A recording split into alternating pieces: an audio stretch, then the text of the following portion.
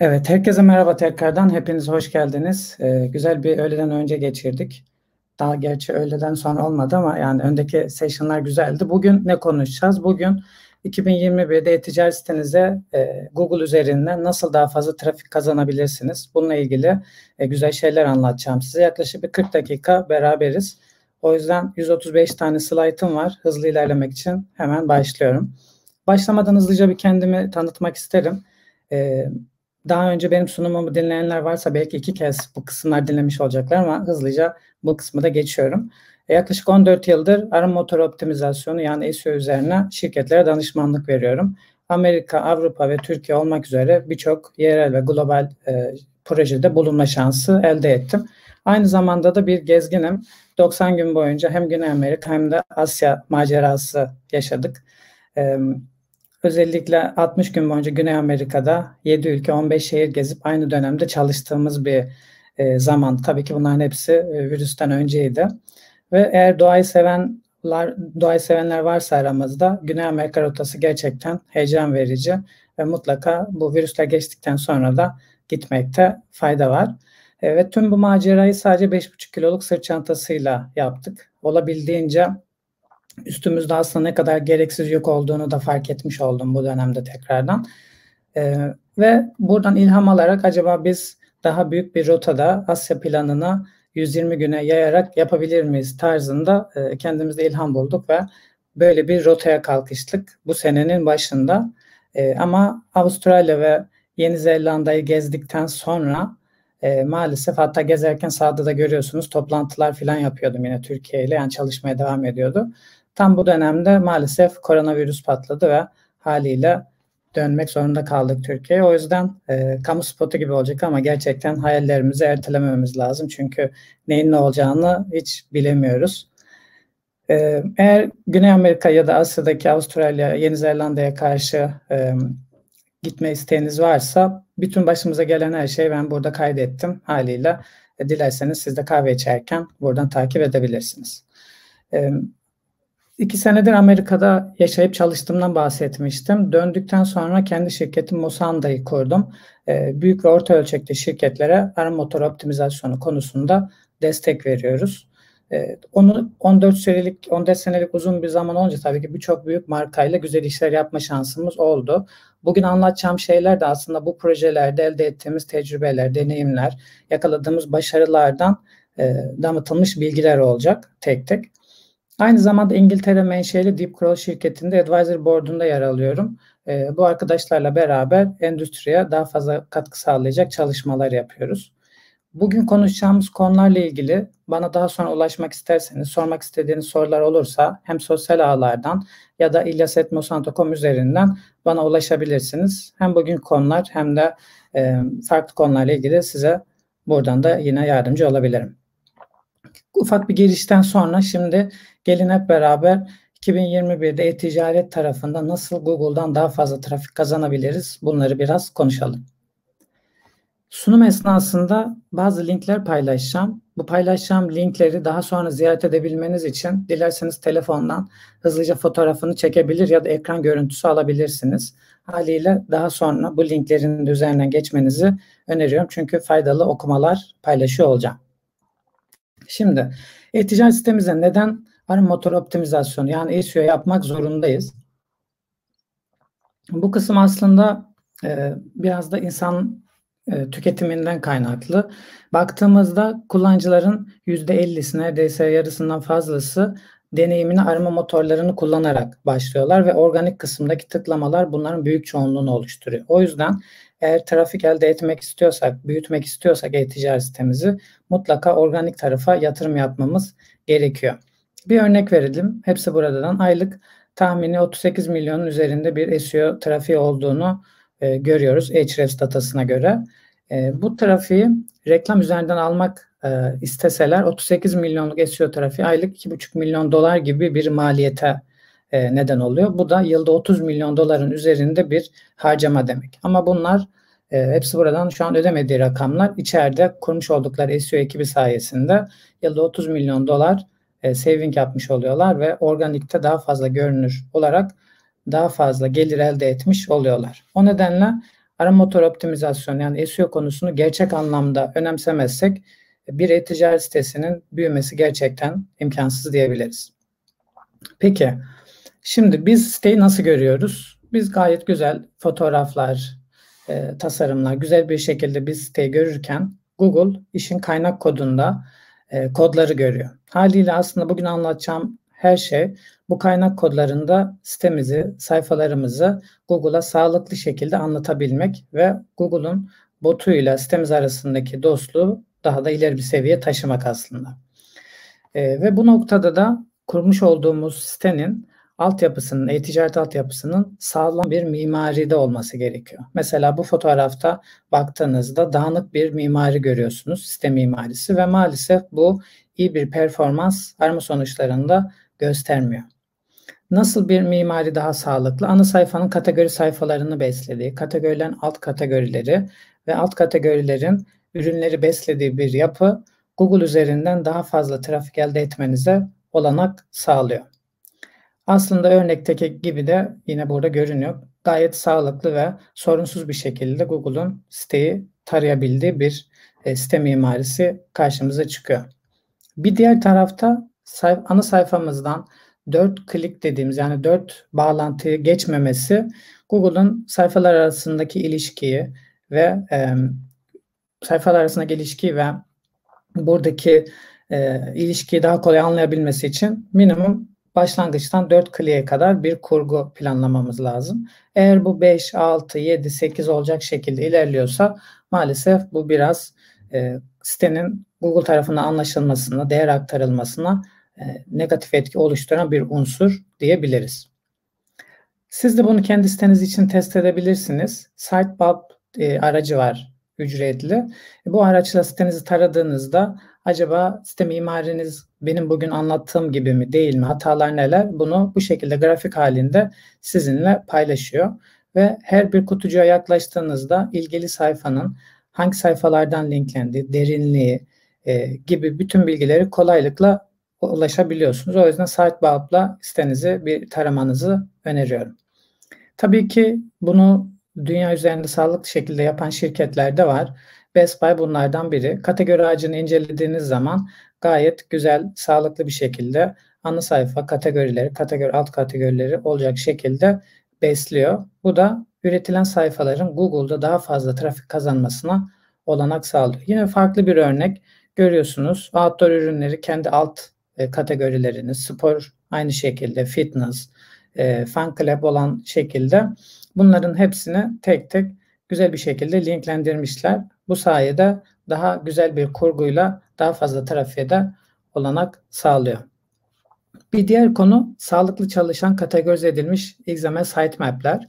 E, bu sitemap'ler bir kitap gibi düşünün sitenizi Google'un kitap gibi okuyarak daha rahat şekilde anlamasına olanak sağlamış oluyorsunuz. Bu sitemap'leri olabildiğince e, kategori sayfalarınız, ürün sayfalarınız ya da kendi içinizde farklılaştığınız noktalar varsa ne kadar farklı ve e, fazla sayıda bunları yaparsanız takibiniz Google tarafındaki indekslerinizi anlamanız da çok daha kolay olacaktır. Bu kısımda yine önemli bir nokta diyebiliriz. Diğer tarafta asıl e, önemli noktalardan birisi de Google'un artık Mart itibariyle, Mart 2021 itibariyle e, desktop user agent'ından mobil user agent'ına geçerek e, siteleri mobil user agent'la tarayacağını duyurdu. Haliyle bu bizi nasıl etkiliyor? Eğer e, mobil sitemizle e, desktop sitemiz farklılık gösteriyorsa içerik anlamında, link, internal link anlamında bu maalesef bizi negatif etkileyecek bir konu. O nedenle ne yapmamız gerekiyor? Desktop'la mobil arasındaki bütün her şeyi eşitlememiz gerekiyor. Hali hazırda bir responsive siteniz varsa endişe etmenize gerek yok. Ama mobil için ayrı, desktop için ayrı bir siteniz varsa Mart 2021'den önce iki sayfaları da iki siteyi de tamamen eşitlediğinizden emin olmanız gerekiyor. Diğer tarafta sitemizin değerini tek bir çatı altında toplamamız gerekiyor. Soldaki kutucukta siteye farklı noktalarda erişim yapıldığını görüyorsunuz. HTTP, HTTPS, W var. Bu kimisinde yok. Kimisinde sonda slash var. Kimisi, kimisinde yok. Bunların hepsine aslında giriş yapıldığı zaman hem Googlebot hem kullanıcı 301 yönlendirmeyle orijinal olan adresimiz neyse buna yönlendirmemiz gerekiyor. Bu da hem backlink değerini hem de internal değeri sağlıklı bir şekilde tek bir domainde toplamaya olanak sağlayacak. Diğer tarafta site içi linkleme yine bu işin en önemli adımlarından bir tanesi. Olabildiğince sitemiz altında kategori, ürünler, ilişkili ürünler, ilişkili filtreler, marka sayfaları gibi bunları iç içe yoğun bir şekilde kullanmamız gerekiyor ki Google sayfalar arasındaki bağlantıyı sağlıklı bir şekilde anlayabilsin. Hepsi burada bunu gayet güzel bir şekilde yapıyor. Yine globalden Amazon'un da e, bu konuda e, ciddi yol kat ettiğini görüyoruz. Bunların hepsi e, fayda sağlayan, internal link'e avantaj sağlayan noktalardan biri. Diğer tarafta Google'un bizim sitemizi, e-ticaret sitemizi e, taraması için ayırmış olduğu bir bütçe var. Yani sınırsız bir Google'un sizin sitenize ayıracağı zamanı yok aslında. Burada da sayfalarımızı görüyorsunuz. Sağda bir crawl budget limitimizin olduğunu görüyorsunuz. Aslında bu örnek biraz daha durumu netleştiriyor. Yani Google'un sizin sitenizin büyüklüğüne göre ayırmış olduğu tarama kapasitesini en verimli şekilde kullanmanız gerekiyor. Çünkü Google yani Google'un botu geliştirmiş olduğu yazılım botu tüm sitenizi her zaman taramayacaktır. Burada da gördüğünüz gibi önemli gördüğü sizin site altından daha çok linklendirdiğiniz sayfaları sadece tarayıp kendi database'ine ekleyip sonrasında diğer sayfalar taramadığını göreceksiniz. O yüzden burada size düşen görev olabildiğince mümkün olduğu kadar önemli sayfalarımızı sadece Google'a açık tutmamız gerekiyor. Yine site içerisinden linklenmeyen sayfalarımız varsa bunların da taranmayacağını, taranamayabileceğini bilmemiz gerekiyor. O yüzden mutlaka e, sayfaları arasındaki ilişkileri doğru yerde linkleyerek Google'a doğru şekilde anlatmamız gerekiyor. E, bu da bizim daha sağlıklı bir tarama kapasitesine sahip olmamıza olanak sağlayacak. Diğer tarafta Google'un arama sonuç sayfalarımızı açık bırakırsanız indekslediğini görüyoruz. Yani arama sonuç sayfası ne demek? Bir siteye girdiğinizde arama çubuğuna herhangi bir şey yazıp enter'a bastıktan sonra gelen sayfa sizin aslında arama sonuç sayfanız. Bu sayfayı Google'a açık tutarsanız Google e, bu sayfaları tarıyor. Burada da mesela bir örnekte 989 tane sayfayı taradığını görüyoruz. Aslında bu sayfalar değersiz ve çöp. E, burayı kapatmadığınız sürece Google'un size ayırmış olduğu crawl budget'ı, tarama bütçesini maalesef verimsiz kullanmış oluyorsunuz. Bunu no index kapatabilirsiniz.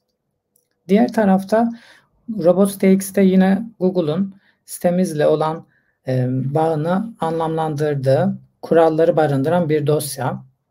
Biz bu dosya içerisinden Google'a sitemiz altında bazı sayfaları tarayıp bazı sayfaları taramaması komutunu veriyoruz. O nedenle mutlaka burada oluşturacağınız kurallarla Google'un doğru sayfaları taradığından emin olmanızı öneririm. Diğer tarafta gerekli parametreleri e, gerekli parametreli sayfaları da engellememiz lazım. Açıkçası bu parametre sayfaları Google'un yine sıkça dolaştığı ve siz herhangi bir aksiyon almazsanız indeksine eklemeye devam ettiği bölümler. Burada ilgili olmayan Google'un dolaşmasını istemediğiniz parametreli sayfaları Google Search Console altından tespit ederek bunu zaten Google paylaşıyor. Tespit ederek burada Google'u engellemeniz gerekiyor. Siz engellemediğiniz zaman bu parametreli sayfalarda binlerce belki milyonlarca sayfayı kendi dizinine eklediğini göreceksiniz. Ama bunların hepsi e, çöp ve değersiz sayfa olduğu için maalesef sizin pozisyon kazanmak istediğiniz kategori ve ürünlerin sağlıklı bir şekilde pozisyon kazanmasını da engellemiş oluyor. Bir diğer konu Google'un e, baktığımızda günlük olarak taramış olduğu sayfa sayısı değişken. Bir anda yani bir günde 100 bin sayfa tararken başka bir günde bunu 8 bine düşebilir. O nedenle Search Console altından burayı sağlıklı şekilde takip edip buradaki ani düşüş ya da yükselişlerin neyden kaynaklandığını doğru şekilde yorumlamanız lazım. Aksi halde buradaki stabil olmayan crawl e, periyodu sizin Google tarafındaki performansınızı da negatif etkileyebilir. Yine Google'un sitenizi nasıl taradığını anlayabildiğiniz en önemli noktalardan bir tanesi sistem tarafında oluşan server log dosyaları. Siz bu dosyaları e, doğru şekilde yorumladığınız zaman elde ettiğiniz bilgiler neler oluyor? Onlardan biraz bahsetmek istiyorum. Crawl edilmiş URL'leri belirleyebiliyorsunuz. Yani Googlebot sitenizde hangi sayfaları ne sıklıkta ziyaret ediyor bunları görebiliyorsunuz. Kırık ya da hatalı linkler var mı dolaştı bunları görebiliyorsunuz. Tarama bütçenizi daha sağlıklı kullanmanıza olanak sağlıyor. Bu analizi periyodik olarak yaparsanız. Botlar ne sıklıkta sitenizi ziyaret ediyor? Yönlendirmeler sağlıklı şekilde çalışıyor mu? 301, 302 ya da diğerleri. Ve büyük ya da yavaş açılan sayfalarınız var mı? Gibi bu soruların hepsine server loglarınızı analiz ederek ulaşabiliyorsunuz. Yine bir anda pik yapan ya da düşen noktalar varsa e, Search konsolu altında bunların da nedenini anlayıp acaba olası bilmediğimiz bir problem var mı bunları yakalamış oluyorsunuz. Örnek bir log dosyasını görüyorsunuz. Çok karmaşık. Bunu zaten e, bizim manuel olarak okumamız mümkün değil. Bunun için bazı şeylere ihtiyacımız var. Nedir bunlar? E, bir log dosyası sistem ekibinden isteyeceğimiz son 6 ay ya da 12 ayı kapsayan sadece Googlebot isteklerin olduğu bir dosya. Sonrasında bu dosyayı analiz edebilmek için analiz aracına ihtiyacımız var. Bunlardan bir tanesi Log File Analyzer olabilir. SEMrush'ın, DeepCrawl'un e, ve diğer şirketlerin de bu noktada geliştirmiş olduğu araçlar var.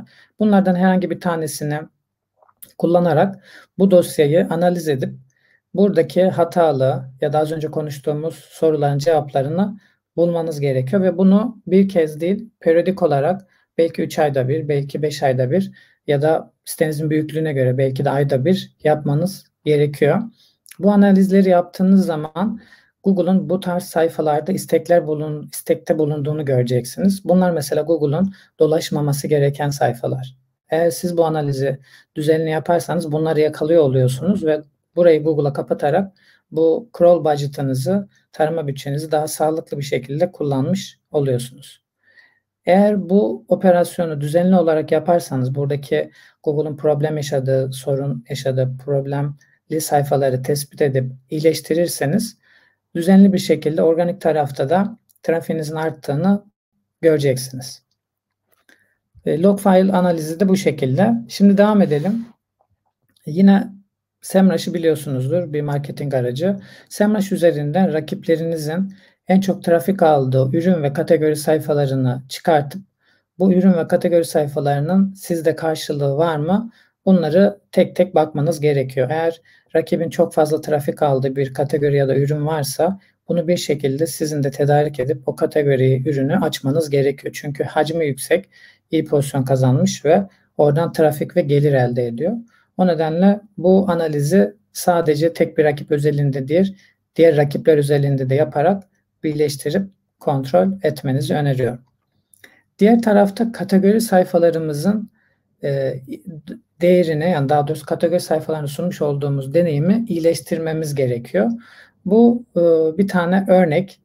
E, bu örnekte biraz da şimdi detaylara da girelim. E, bu örnekteki bir kategori sayfasında aşağıya doğru indiğimiz zaman kullanıcıdan geri bildirme aldığımız bir bölüm var. Aradığınızı bulabildiniz mi? Bulamadıysanız burada nedenlerini anlamaya çalışıyor ve bu sayede size e, yardımcı oluyor. İyileştirmeye çalıştığı bir deneyim var. Burada gördüğünüz üzere. Mutlaka sizin kategori sayfalarınızda böyle bir yapıyı oluşturmanızı öneriyorum. Diğer tarafta kategorinin yine alt kısmında e, şu an neler daha e, popüler, şu an konuşulan konular neler? Bunları sizinle paylaşıyor. Bu sayede kategori sayfasının alt kısmına geldiğinde o kullanıcıyı tekrardan sitede kazanmış oluyorsunuz.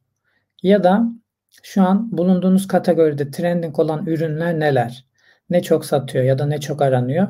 Yine kategorinin alt kısmında bunları vererek kullanıcının sayfadan ayrılmasına engel olabilirsiniz ve burada sunmuş olduğunuz kategori deneyimini de bir tık daha iyileştirmiş olursunuz. Alt kısımda yine ilgili kategoriler, ilgili aramaları görüyorsunuz. Bu da yine kategori sayfasını iyileştiren bir diğer unsur baktığımız zaman. E, bu videoyu belki sunumu daha önce izleyenler e, için ikinci baskı olacak ama e, günün sonunda rekabetin giderek arttığını görüyoruz. E, özellikle ticaret tarafında çok fazla yeni oyuncu piyasaya katıldı. O yüzden bizim gerçek anlamda daha e, akılda kalıcı, daha rekabetçi adımlar atmamız gerekiyor. Daha akıllı hareket etmemiz gerekiyor. Tıpkı bu yarışçının yaptığı gibi e, sağlıklı bir şekilde görüyorsunuz e, birinci olan motorcuya iyice yaklaştı ve e, sanırım birazdan da onu geçiyor olacak. Yani burada aslında bahsetmeye çalıştım. Bugün konuştuğumuz konuları mutlaka e, çalıştığınız şirketlerde ya da danışmanlık verdiğiniz e-ticaret şirketlerinde değerlendirip e, hayata geçirmenizi öneriyorum. Burada da motosikleti bile geçtiğini görüyoruz. Hatta motosiklet bile onu kopyalıyor. Sonra yarışı kazanıyor. E, haliyle rekabet düşündüğümüzden aslında daha fazla diyebiliriz. Devam edelim. Kategori isimlerimizi bir e-ticaret sitesindeki kategori isimlerimizi kullanıcıların yaptıkları aramalara göre optimize etmemiz gerekiyor. Yani sizin bu kategori isimlerini belirlerken kafanıza göre değil, müşterileriniz, potansiyel müşterileriniz nasıl Google'da arama yapıyorsa ona göre değiştirmemiz gerekiyor.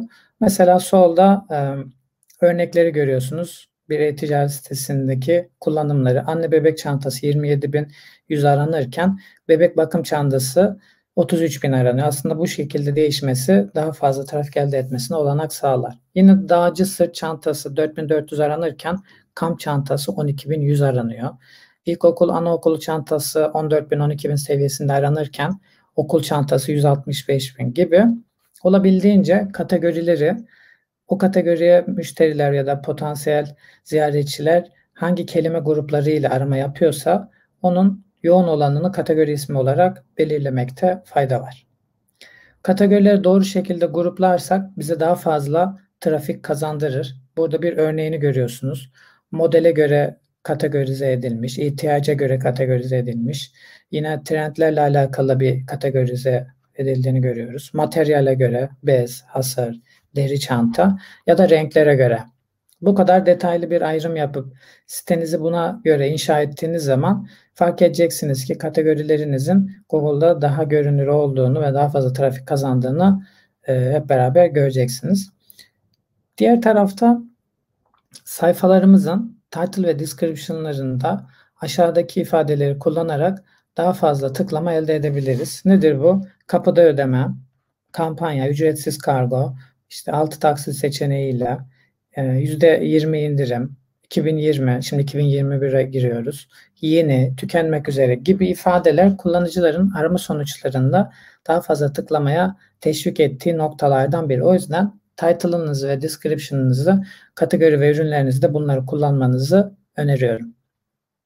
Google'da yine görünür olmak yeterli değil. Sağdaki örnekte e, okla belirtmiş olduğum örneklerin title'larını görüyorsunuz. Sadece e, takım elbise olacak şekilde bir title varken birinci sırada yer alan e, sitenin daha ilgi çekici, tık, okunduğunda kullanıcıya tıklamayı teşvik edecek e, uzunlukta ve detayda olduğunu görüyoruz. O yüzden mutlaka bu ince detaya da dikkat edip title ve description'larımızı buna göre optimize etmemiz lazım.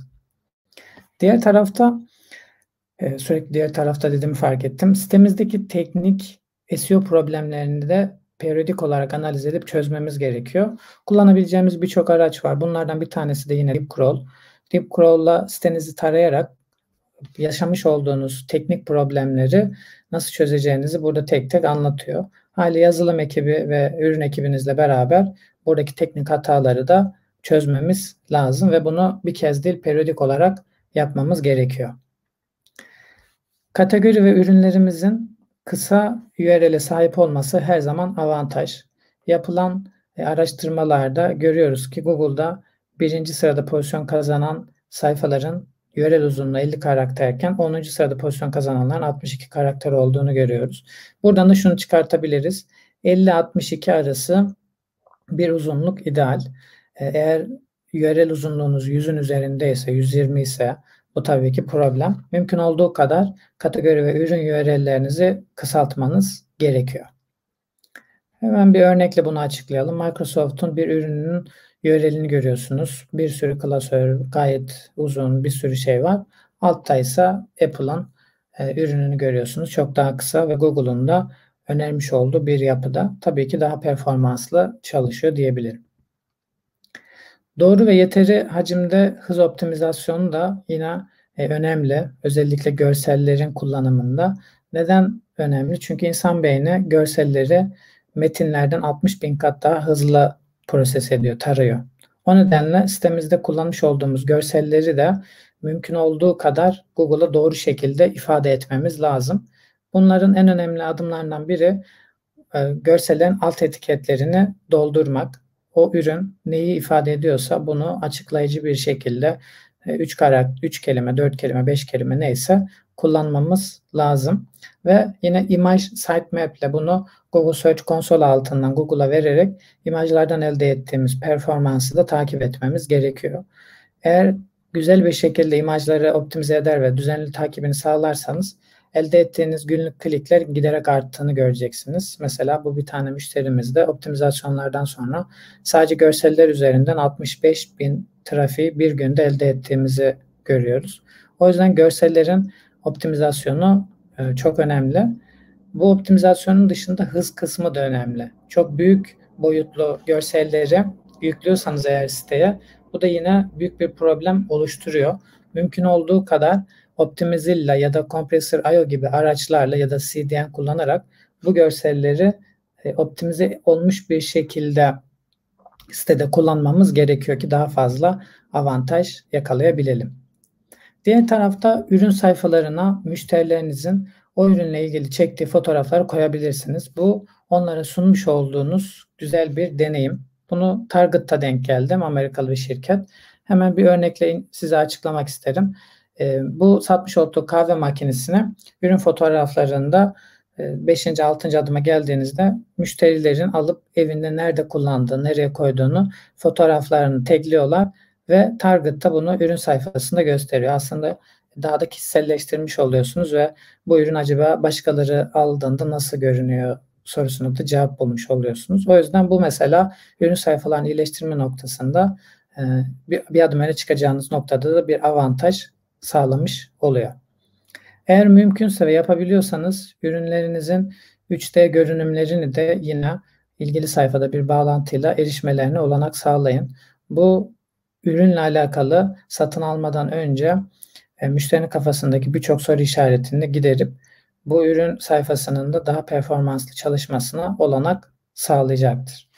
Diğer tarafta e, yine ilgili ürünün kendi evinizde nasıl duracağına bakın tarzında bir e, özellik geliştirmiş bu, bu e-ticaret şirketi.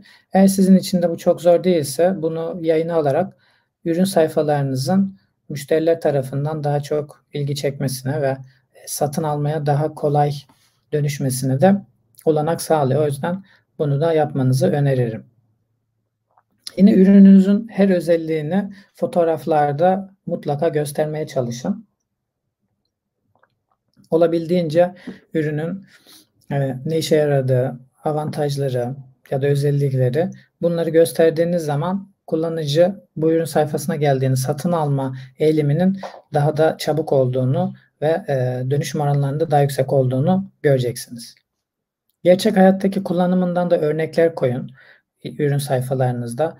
Kullanıcı müşteriniz bunu aldığında atıyorum mutfağında koyduğunda nasıl duruyor gibi yani içselleştirmesini onunla daha fazla bağ kurmasını sağlamış oluyorsunuz aslında bu sayede. Bu da ürün sayfalarınızın kalitesini arttırıyor. Yani SEO o kadar karmaşık bir hale dönüşmeye başladı ki sadece title'ınızı, description'ınızı ya da ürün açıklamanızı yazmanız 2021'de bir adım öne çıkmanız için yeterli olmayacaktır. Devam edelim. Ürün sayfalarımıza müşterilerimizin soru cevap yapabileceği bölümleri oluşturmak yine avantajlı. Özellikle ürün sayfalarınızın Google'da daha fazla kelimede görünür olmasına olanak sağlıyor.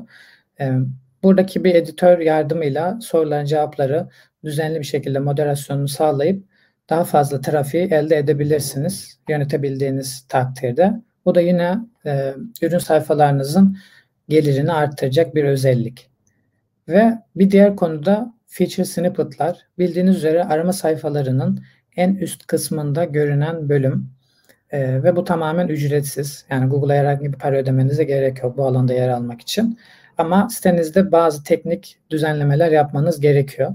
Bunları yaptığınız zaman örneğin Huawei Mate 20 e, özellikler gibi bir aramada en üstte yer alma şansını yakalıyorsunuz.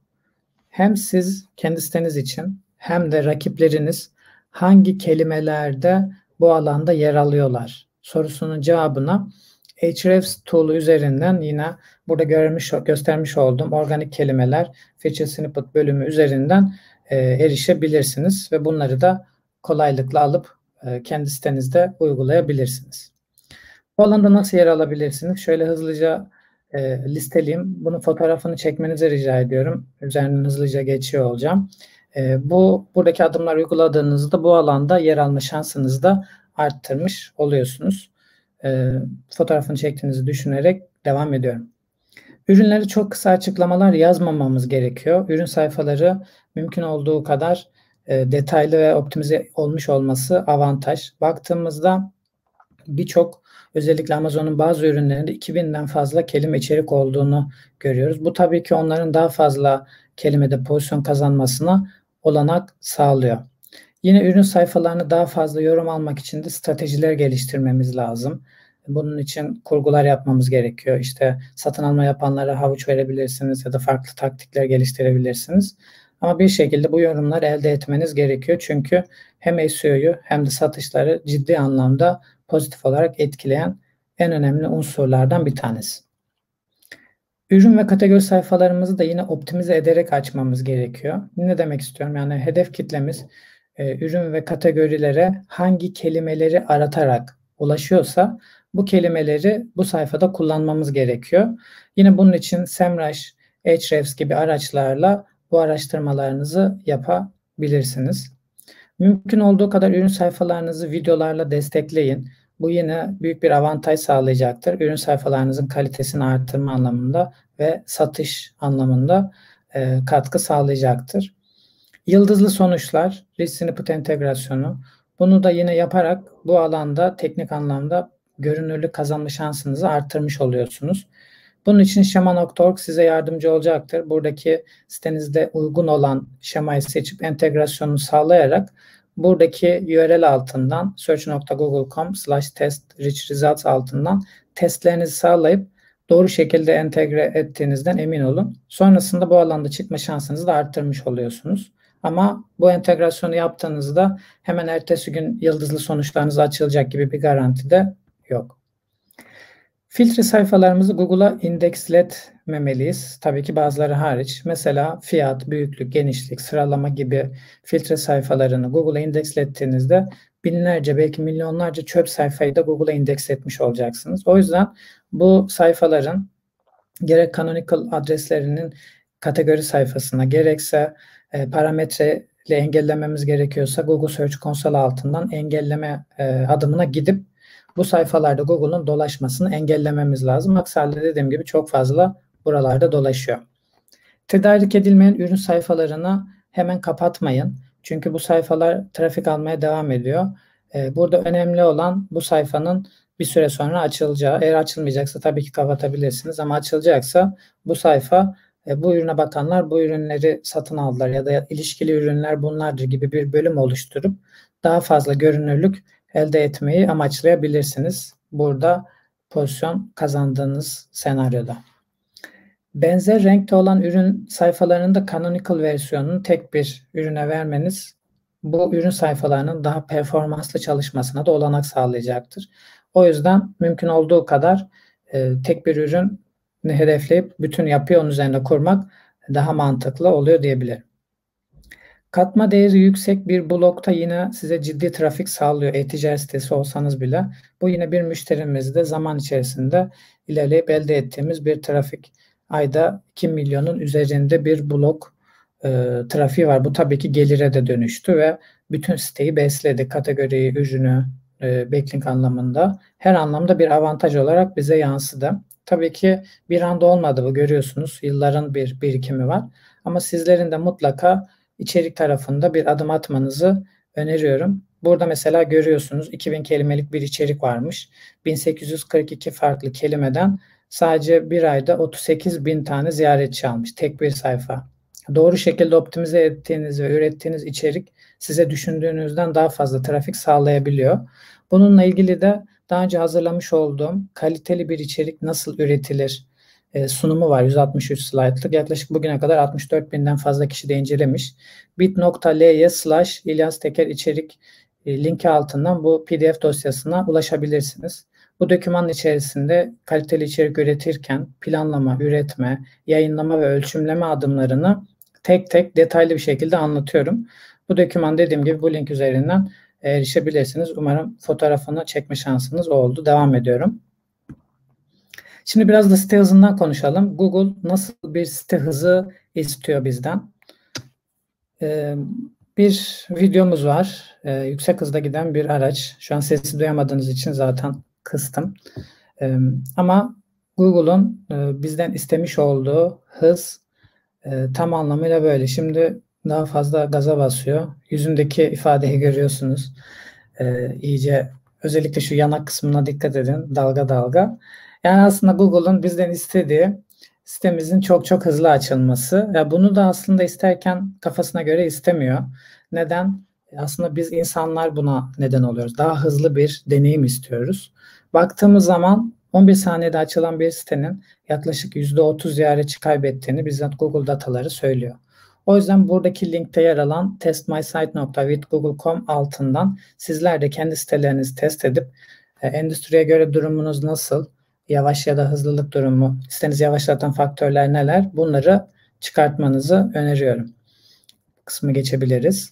Kendi siteniz için deneyebileceğiniz bir diğer kısım da burası thinkwithgoogle.com slash feature test my site. Bu ne işe yarıyor?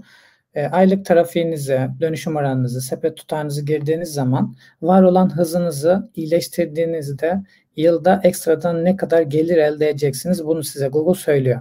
Haliyle burada hız konusunda yapmış olduğunuz yatırım sonuçlara nasıl yansıyacak, e, gelir anlamında nasıl bir fark yaratacaksanız bunu da görebiliyorsunuz. Bu link üzerinden yine sitenizi test edip e, hızlandırdığınızda ne kadar gelir elde edeceğinizi de hesaplamanızı öneriyorum. Hız konusu tabii ki bu kadar kısa değil. Yine anlatabileceğimiz çok fazla konu var. O yüzden benim daha önce hazırlamış olduğum bu konuda bir sunumum vardı. 165 slaytlık. 2021'de daha iyi SEO performansı için site hızınızı arttıracak 12 ipucu altında topladım. Yine bit.ly'ye slash site hızı İlyas linki altından bu PDF dosyasını inceleyebilirsiniz. Yazılım ekibinizle paylaşabilirsiniz. Ve burada anlatmış olduğum yöntem ve metotları uygulayarak hem kategori sayfalarınızı hem ürün sayfalarınızı hızlandırmanız gerekiyor. Aksi halde e, maalesef yarışın dışında kalmış oluyorsunuz hız konusunda. Buraları geçiyorum süremiz az olduğu için. Tedarikçiden gelen ürün açıklamalarını direkt sitenizde kullanmayın ürün girişi yaparken. Çünkü bu size maalesef negatif e, unsur olarak yansıyacaktır. Mümkün olduğu kadar bu içeriği yeniden yazmayı amaçlayın. Minimum %60, %70 oranında özgünleştirerek sitede bu açıklamaları kullanın. Ürün isimlerini mutlaka birbirinden farklı olacak şekilde siteye girin. Sadece basic tişört şeklinde girmeyin. Mümkünse modeli, ürünün türü, kumaş özelliği, temel nitelikleri, rengi bunların hepsinden adım adım bahsetmenizi öneriyorum. Bunlar baskılıysa, desenliyse bunları da yine anlatmanız ürün için önemli bir nokta diyebilirim. Kullanıcıların Google'da neleri arattığını da yine bu araçlar üzerinden tespit edebilirsiniz. Haliyle ürün girişi yaparken nelere dikkat etmek gerekiyor? Bu e, tool'lar size bu konuda da destek olacaktır. Ürün açıklamalarını en az 450 kelime olacak şekilde planlıyor olmanız büyük bir avantaj sağlar. E, olabildiğince özellikleri, e, giriş cümlesi, o hikayesini anlatabildiğiniz bir bölüm. E, bu da ürün sayfalarının daha iyi performans kazanmasına olanak sağlayacak. Pazar yerlerine sitenizdeki metinleri birebir vermeyin. Çünkü en iyi optimize olmuş olan ürün açıklaması sizin sitenizde olsun. E, aksi halde bu sitelerin Google değerleri çok daha yüksek olduğu için kendi ürünlerinizin üzerinde e, bu sayfaların çıktığını göreceksiniz. O yüzden buradaki ikilemi bu şekilde çözebilirsiniz. Ve düzenli olarak sitenizde gereksiz sayfa sayısını azaltın. Hiç satış gelmeyen ya da trafik almayan ürün ve kategori sayfalarını siteden uçurmamız gerekiyor ki aslında bir budama operasyonu gibi düşünebilirsiniz. Bu budama sayesinde daha fazla e, değerli sayfalarınızın Google'dan beslendiğini ve trafik aldığını göreceksiniz. Bunu birçok müşterimiz için yapıyoruz ve gayet de güzel sonuçlar elde ediyoruz. Bir müşterimizde %55 organik trafik artışı oldu. Proven.com %88 trafik artışı yakaladı bu budama operasyonuyla. CHM'de 1,5 milyon üzerinde trafiğe sahip oldu bu düzenleme sayesinde. Siz bunu nasıl yapabilirsiniz? Burada da ben yine anlattım. İçeriklerinizi düzenli analiz ederek SEO trafiğinizi nasıl arttırabilirsiniz? Yaklaşık 12 binden fazla kişi de bu sunumu incelemiş. Bit.ly'ye İlyas içerik analiz URL'i altından PDF halini indirerek buradaki metotları adım adım uygulayabilirsiniz. Bu sayede siteniz altında gereksiz sayfalardan kurtulup daha değerli sayfalara daha fazla trafik aktarılmasını da sağlamış olacaksınız. Sona geliyorum yavaş yavaş. Bugün yine ara ara değindiğimiz konulardan bir tanesi de dönüşüm tarafı. Her ne kadar e, yüksek bir trafik elde etseniz de bunu dönüştürmeniz lazım. Burada e, dönüşüm oranlarınızı arttırabileceğiniz 100 akıllı öneri var. Backlink.com slash conversion rate optimization kısmında buradaki detayları e, tek tek okumanızı öneririm. Yine bir diğer Google'un ücretsiz ürünü Google Optimize'ı kullanarak e, sitenizde belirli testler, ölçümlemeler yaparak e, fikirlerinizi direkt trafik üzerinde uygulayıp sonuçlarını gördüğünüz ve ona göre sitenizi iyileştirdiğiniz bir ürün. Bunu da yine kullanmanızı öneriyorum. Tüm bunların dışında farklı düşünmek de gerekiyor. E, bu screenshot Acun'un storiesinden yakalamıştım. Sadece 10 dakikanı bize ayır. Bütün reytingler bizim olsun tarzında Fenerbahçeli de olduğunu bildikleri için bir e, çelenki Acun'un ofisine göndermişler. Normalde Acun'a ulaşmak belki çok zordur ama e, tam tersi bir reaksiyon burada olmuş. Seni bulacağım deyip bu çelengi gönderenin peşine düşmüş Acun. O yüzden bazen farklı düşünmek gerçekten e-ticarette de işe yarıyor diyebilirim. Yine bir sigorta şirketinin ofisini görüyorsunuz. Buraya giren müşteriler, yani bu ofise gelen müşteriler genelde çok kızgın. Ya sigorta şirketinden ödemesini tam alamamış, ya hiç alamamış, eksik almış. Yani problemli müşteriler ve genelde kızgınlar. Buraya geldiklerinde çok kızgın oluyorlar. Sonra bunu fark eden e, şirket bu odayı komple pembeye boyuyor. Hatta yazıcıyı da görüyorsunuz. Yazıcı bile boyamışlar. Bunun temel nedeni pembenin insan üzeri insan üzerindeki dinlendirici etkisi. Bu odaya çok kızgın giren müşterilerin bir süre sonra yumuşadığını, sakinleştiğini ve e, problemleri çözülmese bile daha sakin bir şekilde buradan ayrıldıklarını tespit etmişler. O yüzden bu test deneyler bizim kendi sitemiz için de çok önemli diyebilirim. Son birkaç bonus slide sonra kapatıyorum. Yine bu kısımda da e, linkleri kaydetmenizi öneririm. Burada yine başka bir sunumda anlatmış oldum. Rakiplerinizden neyi farklı yaparak trafiğinizi kolayca arttırabilirsiniz. Burada da çok önemli stratejiler var. E, yaklaşık 29 bin kişi de bunu incelemiş. E, yine üstteki linkten bit.ly'ye İlyas Farklı Yaklaşım linkinden bu pdf'i indirerek neyi farklı yapabilirsiniz, nerede farklılaşabilirsiniz. Orada güzel ipuçları var. Göz atmanızı öneriyorum. E, yine önemli noktalardan bir tanesi daha fazla satış için nasıl bir sayfa tasarımına sahip olmanız gerekiyor ürün ve kategorilerde.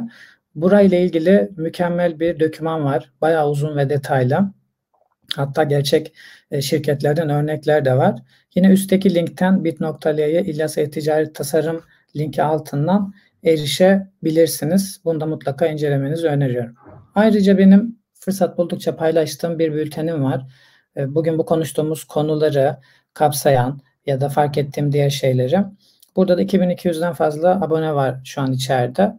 İlyas Teke ile hafta sonu okumaları Google'a yazarak ya da bit.ly'ye slash İlyas Bülten linki altından bu bültene üye olabilirsiniz. Bu tarz e, sizi farklılaştıracak, rekabette bir, anı, bir adım öne çıkartacak şeyleri bu bülten altında paylaşmaya çalışıyorum. İlginizi çekerse de buradan yine paylaşabilirsiniz. Son birkaç slide kaldı. E-ticaret dönüşüm oranlarından bahsettik. Bunları arttırmak için sağ olsun Google'un hazırlamış olduğu çok güzel bir dokümantasyon var. Bu dokümantasyon üzerinde örneklerle beraber Google'un dönüşüm optimizasyonunu nasıl iyileştirebilirsiniz? Bu kültüre nasıl sahip olabilirsiniz şirket üzerinde? Adım adım anlattığı güzel bir e, kurs var diyelim. winonmobile.withgoogle.com altından buradaki dokümanlara erişebiliyorsunuz. Yine ekibinizle beraber bunların hepsinin tek tek üzerinden geçmenizi öneriyorum. Bugün konuştuğumuz konularla ilgili ya da daha sonra sormak istediğiniz bir şeyler olursa bana bu kanallar üzerinden ulaşabilirsiniz ya da mail atabilirsiniz. Ee, diyerek sunumumu bitiriyorum. Beni dinlediğiniz için çok teşekkür ederim.